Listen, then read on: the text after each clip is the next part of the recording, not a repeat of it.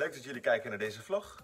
Mijn naam is Jos de Oort, ik ben 28 jaar en ik geef les op basisschool Het Groeipunt in Vroomshoop. Ik geef daar les aan groep 5. En ik ga jullie vertellen en uh, laten zien hoe mijn werk als leerkracht er nu uitziet in deze coronacrisis. Gekke tijd. Um, ja, echt wennen voor uh, kinderen, ouders, uh, maar ook voor ons als leerkrachten is het erg wennen, omdat ja, alles loopt heel anders dan normaal. Nou, ik wil graag even beginnen met een bingootje. Nee, is niet waar hoor. En ik had helemaal geen bingo. Nou, iedereen lag in een deuk. Ik heb net even koffie gedronken uh, op anderhalve meter afstand met een paar collega's.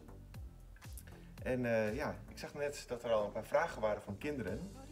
En dat er resultaten al binnenkwamen. Dus ik, ik ga aan de slag.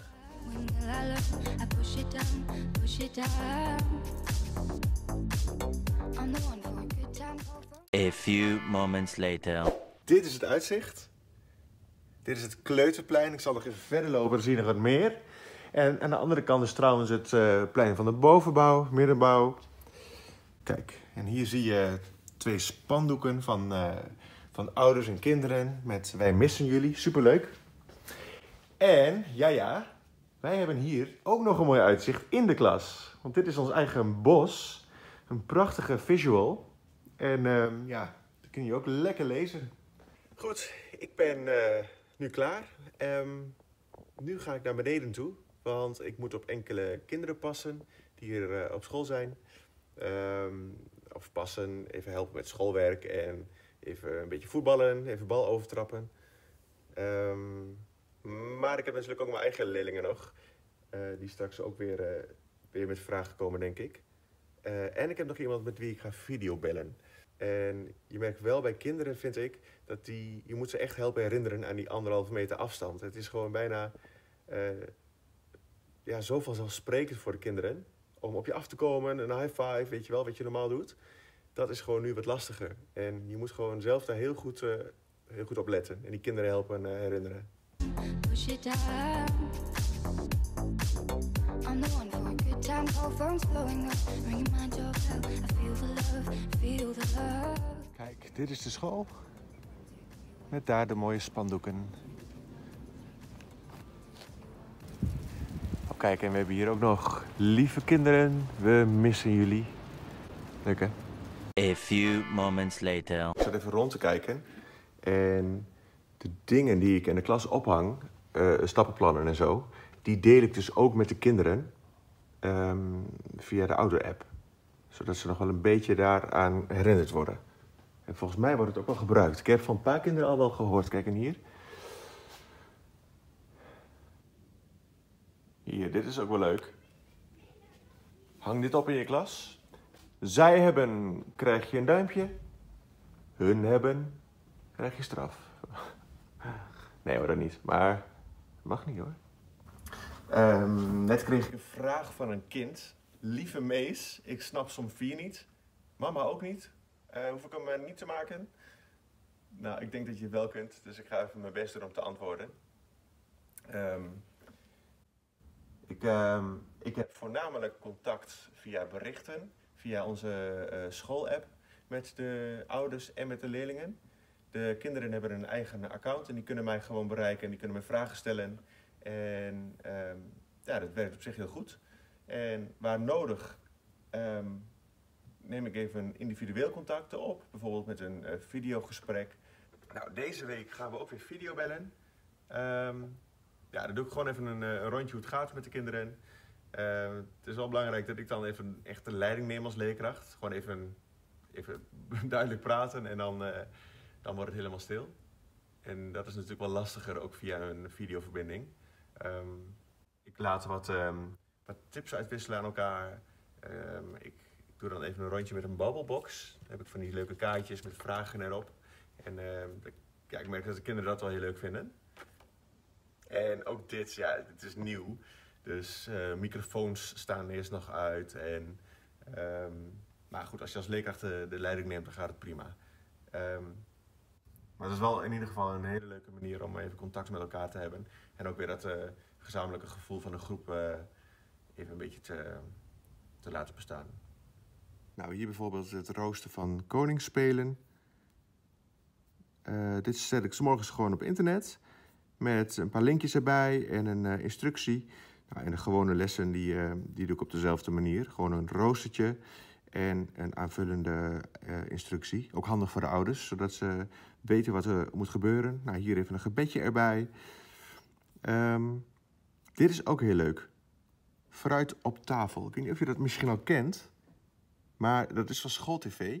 En er worden de tafels aangeboden. En op echt wel een hele leuke manier. Dus um, gratis tip van mij.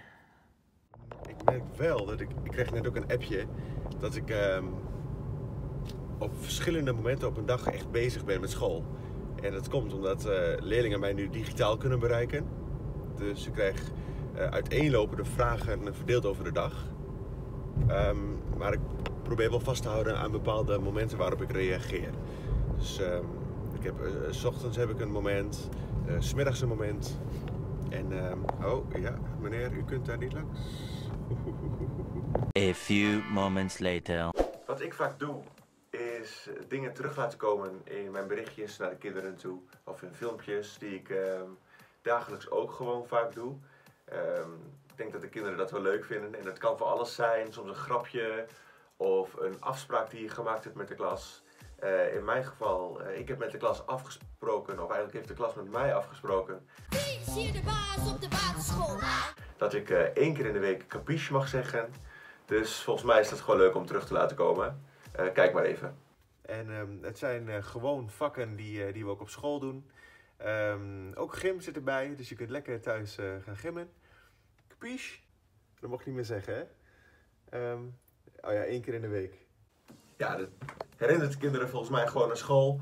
En ja, soms gaat mijn horloge ook gewoon praten. En het gebeurt ook wel eens tijdens lessen. En ja, dat is leuk om erin te laten, denk ik. Ik zal jullie wat uh, erover vertellen. Dat had ik al bedacht.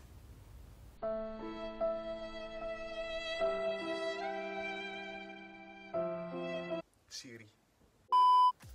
En wat ook leuk is, denk ik, is om iets van jezelf te laten zien. Zodat de kinderen um, in ieder geval de leerkracht nog een keer zien. En uh, in mijn geval was het zo dat uh, ik had aan de klas gevraagd. Um, wat zou je leuk vinden om nog eens een keer te doen op school? Wat zou je leuk vinden? Um, en velen hadden toen het plan om een keer een DJ-les te houden op school. Nou, superleuk idee natuurlijk. Alleen nu is dat een beetje lastig. Komt wel weer. Um, maar ik bedacht om alvast een voorproefje op te nemen. Waarin ik wat uitleg over de apparatuur en hoe het werkt. Um, kijk maar even. Nou kijk, dit is de DJ-set.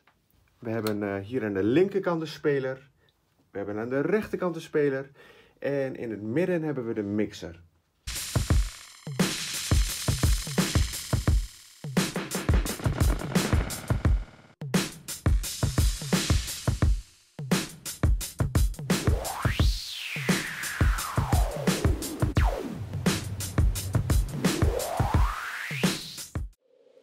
Was de, de mix. Uh, mijn gezicht is nu roze. Het komt door het lampje. We hebben ook als team een filmpje gemaakt voor de kinderen. Dat hebben wel meer teams gedaan. Die hebben ze misschien wel voorbij zien komen. Um, wij hebben um, een, filmpje gemaakt waarin we een wc-rol overschieten, overgooien. En ja, ik heb ook even een bijdrage geleverd. Gewoon één poging. Uh, kijk maar.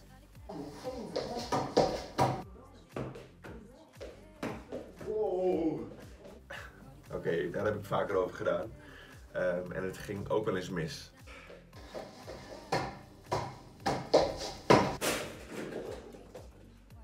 Um, dit was het.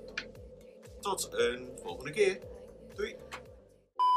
Oh, ik kreeg trouwens nog een raadsel van een, uh, van een kind. Het is, het is, waar stond hier? Het is groen en het is lui. Het is groen en het is lui